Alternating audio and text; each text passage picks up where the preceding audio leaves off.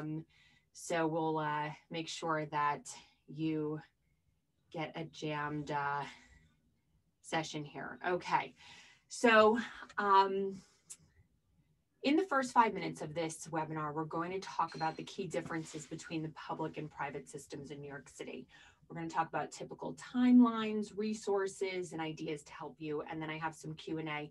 Some of our community members have already submitted some questions that I'll be posting, but if you do have any questions, I've also opened up the chat, so you're welcome to post things in there.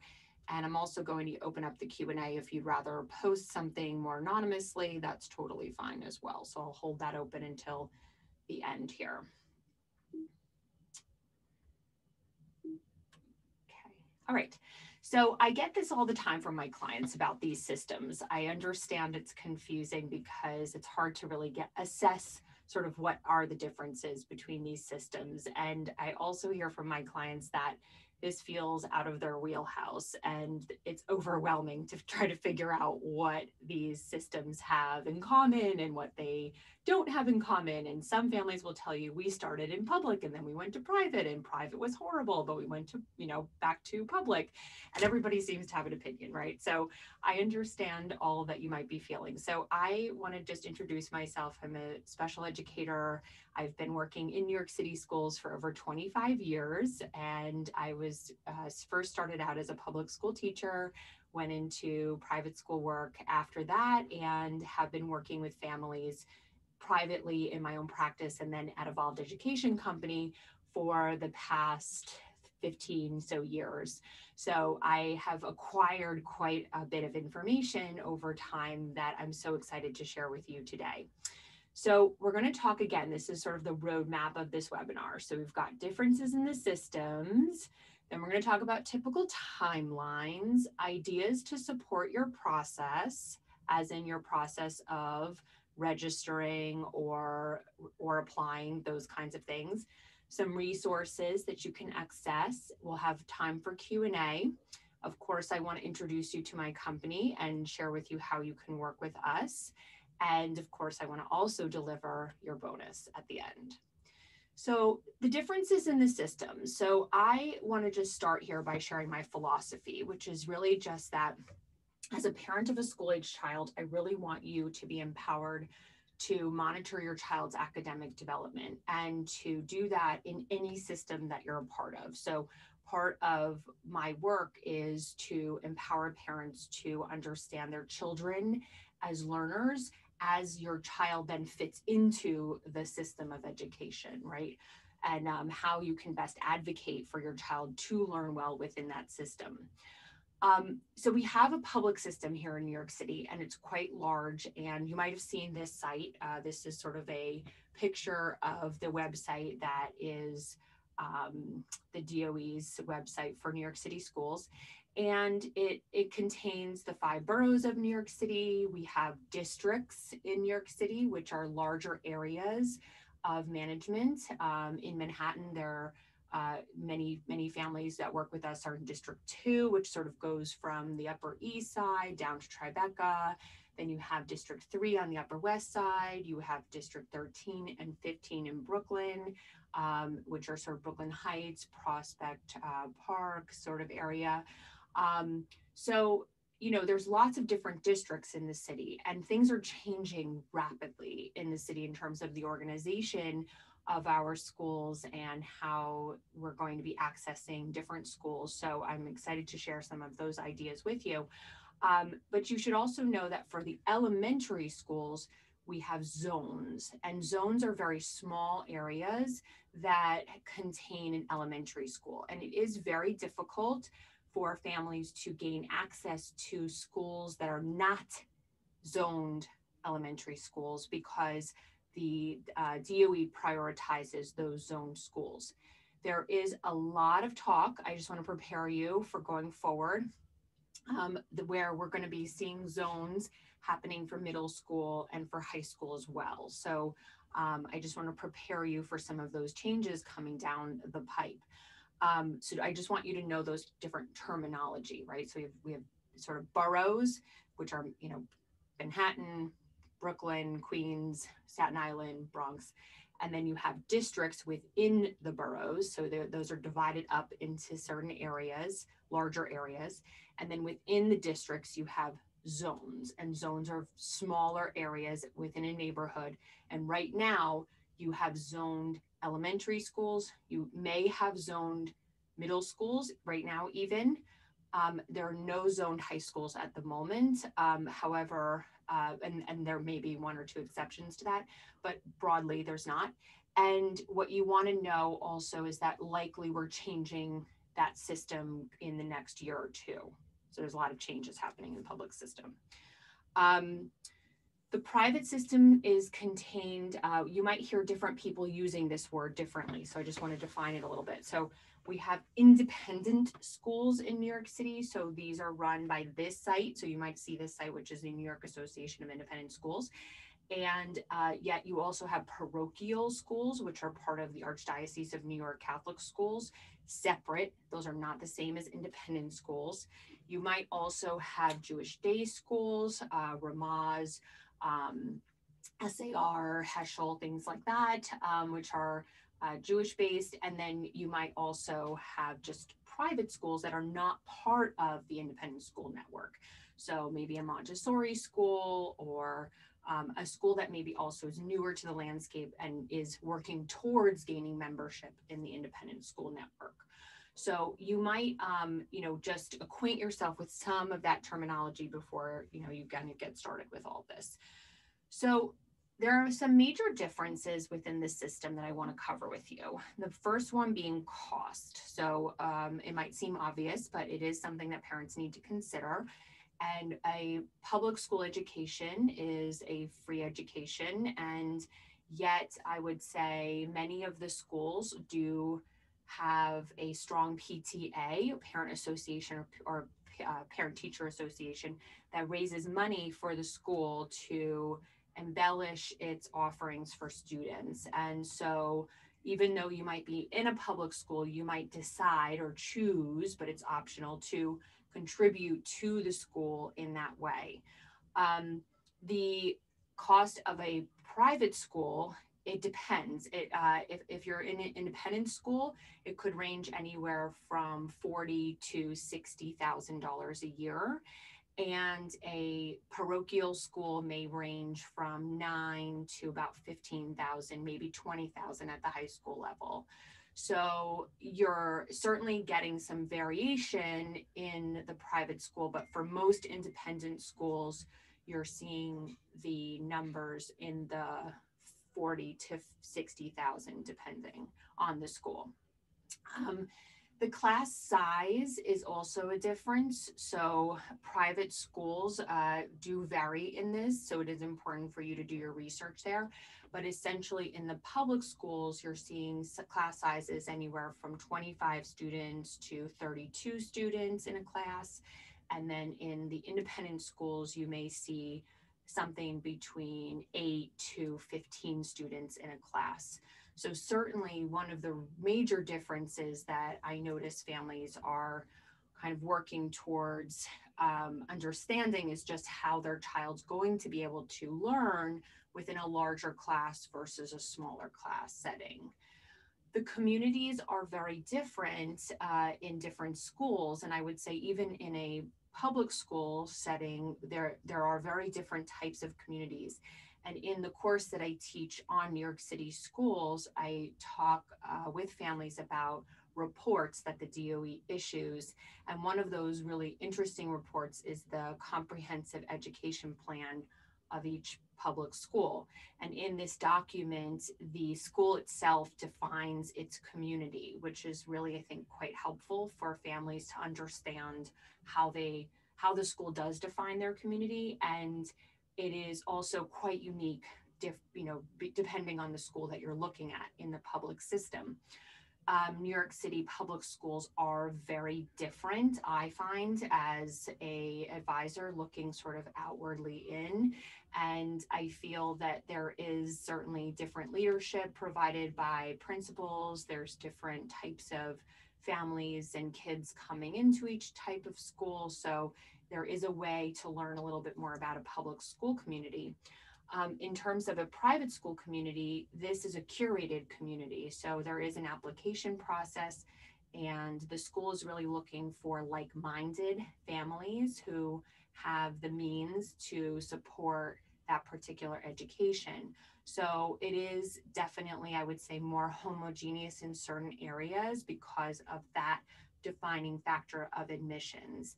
In public school, there is definitely a more heterogeneous grouping of students in some schools. It's still a very segregated system, so I wouldn't say that it's a utopian situation by any means. However, I would say you don't have the requirements of of some kinds to get into the school that are placed in a very apparent way in the in the private school system. Um, so certainly again getting into the culture and the socioeconomics of each system there are also differences to consider. So it depends again i speak with parents about this all of the time in that i want to just educate you about what's out there and what's possible and then you as a family get to make a decision as to where you would like to educate your children and what you feel is really best for your family holistically. And any number of these these areas may come into play with your decision, right? Um, also, uh, curriculum. So curriculum is different depending, even even really in between different public schools. Even though we all follow Common Core, which is uh, the the major curriculum and the next generation learning standards, we may see that a certain school is partnering with a college program, which is delivering that curriculum, such as Teachers College or SRSD Writing or Connected Math or Math in the City. So these are sort of you know curriculums that are developed by different collegiate programs that schools then bring into their public school for teachers to have professional development around. And so you, as you shop for schools, if you will, in the public system, you might actually look at that CEP report and learn a little bit more about what they're investing in in terms of their professional development and what kinds of programs the students are engaging in because that may be of importance to you as a family. In the private system, there's much more diversity of curriculum because there, there's no regulations from government agencies to dictate what that curriculum will be like, hence the independent school. And parochial schools will follow the archdiocese. So there are certain you know, requirements for them as part of that system. Um, and yet also Jewish day schools will do something similar. And so you will want to learn a little bit more before you apply how the school is going to enact that, that learning process for your child. So you may see different terminology. So people will say this a lot to me, and I find it's important to define what one means by these words. But, you know, a very traditional curriculum, a very progressive curriculum, a very hands on curriculum, project based, test heavy. These are sort of words that we might throw around when we define a curriculum. And so if you hear words you don't know, you might want to ask more about what does someone mean when they say this, right? I think in the days of of COVID, we've actually become a little bit better in terms of schools have been putting more content on or on their websites and so that's great. It's just that sometimes parents come to me and they're like i don't really know what they mean by this and do they really do what they say they're doing? And these are all really good questions to start investigating. Um, so facilities and resources are yet another way that that schools are our systems are different. So we have a in the public system, different schools actually have different types of facilities. Some of them have very new buildings and massive gyms and you know auditoriums and things of that kind and other schools are housed within very old buildings and it's important that you do take a walk and go look around at the buildings before you start placing schools on your applications because the environment i think is actually really important for kids and for you to feel comfortable within. So that's just another you know piece of school advice there but certainly uh, you know i would say the private schools uh, you're paying for a lot of those facilities because they're investing in them, they're building them, they're updating them, and each school will have their own look and feel. And I know during COVID times, it's so hard for families to get that real feel without walking through the building. So it is something we provide as as a little bit of show don't tell uh, discussion, right? Um, it's you know it's it's definitely important. Um, the other thing I would say that's a difference is that you know your your cutoffs are different. So public school cutoff is 1231 and private school cutoff tends to be like 830, 91 or sometimes 930. But most of the time independent schools want children to be older. So if you have a child with a late summer birthday or a fall birthday, this could really impact your planning.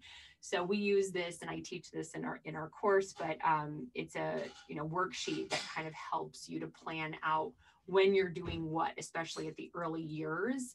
Um, I will say that birth dates matter more when the children are younger. If you're moving from the pub, private system to the public system or vice versa later on, it's usually done by grade as opposed to age. But just know too that if you're going from a public school to a private school and you have a kid with a fall birthday, your child might be on the on the young side of their class and you may want to talk with the school just more about what that, those social implications might be right? So we anyway when we plan with young families we often talk about birth dates right? So you know we list out all of these and of course if you had this birthday of late December, you have a lot of more options to consider, which is, you know, I think a little fun. And my brain always has a hard time getting around that. So I, I totally understand. Um, so also typical timelines will vary in the system. So, you know, in public school, this is sort of a very um, over big macro view of the of the timeline here because the DOE is often changing the exact open windows of time in which we're registering. It's not even COVID in which that's actually been, you know, moved around and announced, and then they often uh, allow an extra week. It's like, oh, it's the deadline is the 19th, but actually you have another week. It's it's sort of always like that, um, and it's never first come first serve. It's always just you know registering on MySchools there's some technicalities and some strategy to some of this, but the DOE is by and large eliminating a good amount of the merit based and the um, uh, the merit really it's the merit based based uh, strategies. Uh, unfortunately, I mean I don't know I don't know what your what what your thoughts on this are, but I I sort of um, you know they're going to go to zones, which has its whole host of other um, issues uh, in terms in terms of providing that segregation. But it's um, anyway, we're going to get there at, when we get there. But um, essentially, what you want to do here is you want to go in at about three or four years old. You're applying for U Pre K if you would like to. They just cut a whole bunch of programs, so I think this is going to become more challenging to get placement within. But it's a program for kids who are four. Um, the fall of U Pre K is when you actually apply for K for kindergarten programs and then you can do you know middle school and high school. In a private school most of my families are coming to us when they're very very young families. So i meet with an extraordinary number of uh, moms and dads with babies and and little little guys. And it's really so fun to do that because we do a lot of this this instruction just private versus public like what you know where do you want to go? What you want to go to the suburbs eventually? Like what you know what do you want to what do you think you want into school? What do you want in a community? Um, oftentimes parents haven't really ever talked about these things and they get to talk about their past educational experiences and what they think is important. And it's a really great exercise, actually. Um, but regardless, so we get to talk about all of that. And then, you know, there, if you're going through a route in which you know you're going for a top tier school in New York City, um, and yes, there are top tier schools and they're really competitive. Um, and what you need to do is really be planned out. Your child needs to be prepared. You need to be prepared um, and and really this is kind of a lot of it. So i've written a book which you can access on our website. It's free and it's wonderful and it has a lot of great information in it. And it's really just about walking through 10 steps that I walk through with a lot of my clients. And it starts with you as a family, it starts with investigating your child as a learner and then going to the school wish list of things that you really want in your school and this is the process that you have to go through. And it's it's it's time consuming. It's an investment. It's uh, we're just finishing up my class from the fall and i don't think we've stopped. It's been it's been one after another after another after another just you know making sure a lot of these things are are completed and done well. And um and we love doing it. So why not um, this is sort of middle school process. Uh, you know, families ask a lot of times, can I move from public to private in middle school? And is that harder to do than if, it, if I'm coming from kindergarten? Um, I think each opening actually has its own competitiveness that is actually worth investigating separate from each other.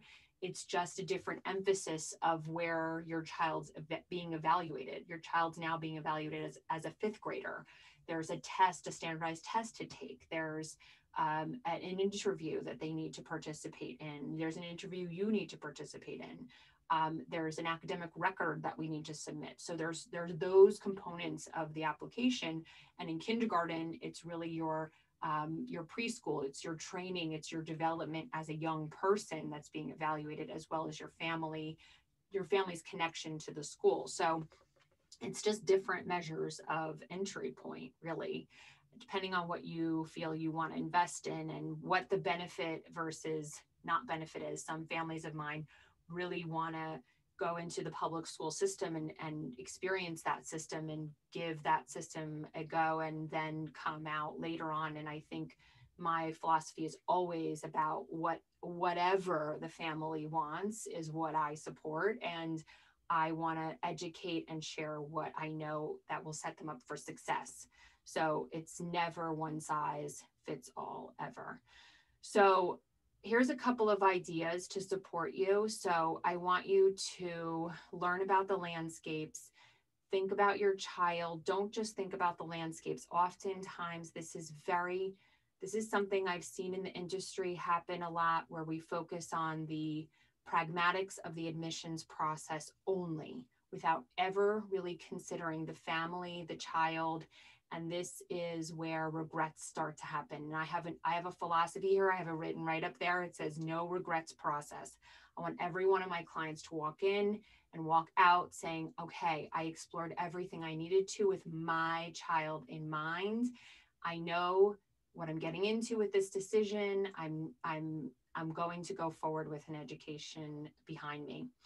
Um, some resources. So I wanted to say that is sort of how I see our company acting in your life. We are a resource for you. We have information to share with you. We will meet you wherever you are with that. So I have some clients who come in and man, they have it all done. They have all the schools researched, they have everything planned out. It's really wonderful. And then we just get to kind of, you know, verify or, or just strategize on top of that or answer smaller detailed questions. Um, and then I have other clients who come in and they're just, you know, busy and this is just not, they outsource, like we cannot handle this. I, we don't want to learn it. we don't want to know. Just kind of tell us where to go, ask us the questions, help us with all the things. Um, and I love that too. So whatever, wherever you are is totally fine with us. Um, a couple of concepts you should know. We have a, all of this is actually in our membership, which I'll show, share with you at the end. But you know we have a we have developed a membership because i really wanted to give families a resource that was meaningful. I'm not seeing it out there. I find i wanted to give moms and dads quick actionable resources and information. Um, and i'm you know a mama too so i just don't have time to sift through thousands of articles and all of this. So one stop if you want to go through the kindergarten process watch these five videos and you're going to be kind of set up for your success of what you need to do. Call us when you need to, that sort of thing. But anyway, all of these links and resources are included in there, including like the zone maps, how to read the CEP reports, Public School Review is a website. You can access public schools on there if you want. InsideSchools, I mean, I use it all the time. I, I use it for certain things. I teach in the course what I do use it for, what I want you to know about it. Again, it's being, it, it's having an understanding of the information where it's coming from as well. So I always advise with a multiple perspective viewpoint, and I'm always learning. So I like to share with my families multiple perspectives, not just one perspective. And I actually also encourage them to go outside of our consultation and continue to dialogue and investigate further. Um, because uh, no one viewpoint is actually enough when you're talking about your child's education. Um, private school resources. So these are different resources that I use in research. And again, I talk about a lot of this in the course. Um, we do boarding school Northeast as well. So we have relationships with um, all of the schools really in the Northeast. And we do a great job of locating programs that really are best fit for your child in terms of everything like sports or learning needs or you know, community, size of school, commute, anything and everything, really. Um, it's important to me that you understand and just know that we're coming from a place of partnership with you and we want to make sure you're supported in your journey of learning about schools and learning about your child. Um, it is always important to me that you that you have you know the resource that we that we uh, provide here as you go along in your journey so if you would like to work with us um, this is how you can do that uh, we offer one-to-one consultations. Um, we set, we spend time with you before that because we want to organize your time to make sure it's really efficient. So all your questions get written down. We have really nice uh, follow up with links and all the things that we end up discussing in our hour. So you're really set up with an additional layer of information that you can take with you. We offer comprehensive packages supporting families through the whole process. Like I told you before, like you can think of us as your assistant through the process and just hire us for those kinds of things. Um, everything is really high level and confidential and very I would say, um, you know, service minded is really kind of important uh, as we as we set the tone. Um, couple questions. I'm just going to get into these because I think it's it's important. We'll go over a couple of minutes in case you have that time. Can I start in public school and move to private school later on?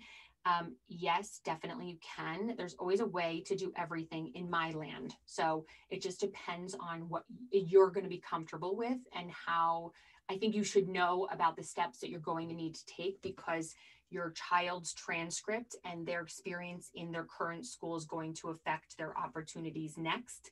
So you'll want to know what those measures and data points are so you can keep an eye on them and just monitor before you get to that process. The more informed you are and the more educated you are through the process, the better you will be in terms of making any transitions. It's the same for college, really. It's just that in New York, we start early. um, I can't afford 50 to 60K for private school. Are there alternatives or financial aid? Absolutely. Um, you know, it depends on your circumstance. I will certainly share everything that we know about financial aid. I will also share with you, we have a whole list of schools that are not part of the 50 to 60K network. And we share that with the families who put that on their wish list. And we talk about those schools and the positives and negatives of them. Um, or, or, negatives to the family. By the way, I don't I don't really view negatives in a negative or a black and white category. I view it as a match to the family's uh, wish list. So if your wish list is to have something and a school doesn't have it, that would be a negative as opposed to just a categorical ne- negative. Um, so there is a way to do this, yes. Um, how do you get into the most competitive schools? Um, with a very, very serious plan and also a child who is ready and is a match for that particular school first and foremost. So your child needs to be ready and your child needs to be a match for the school's entrance points and you as a family also just have to have all of your ducks in a row in terms of that application to present the very best foot forward you possibly can, because it is very competitive. Still in covid days parents ask me all the time like have every has everyone left the city? No they have not. It's been very very uh you know equally busy right let's just say. So you um, need to be planned out and you need to you know definitely put in the, the investment to get there if that's your goal. Yeah. Um, so just to end here, and again, thank you for joining me this morning. And if you're watching the tape, thank you so much for joining me. Um, this is coming to you on February 15th. If you're interested, we have a New York City Schools membership going, uh, which is going, which is my new baby. Um, and it's, it's just, it's just all the knowledge. Honestly, it's just to help every family with public and private. So there are videos on twos programs, how to get into a twos program, what are the twos programs, um, we mostly concentrate on Manhattan and Brooklyn. So to be clear, even though it says New York City, um, I want to be very transparent in what we're at, what we're offering. So please know that is sort of our regional expertise. Um, in addition, we have public and private processes available. So you can learn about how to get into public kindergarten, middle school, and high school. Those will be updated every year.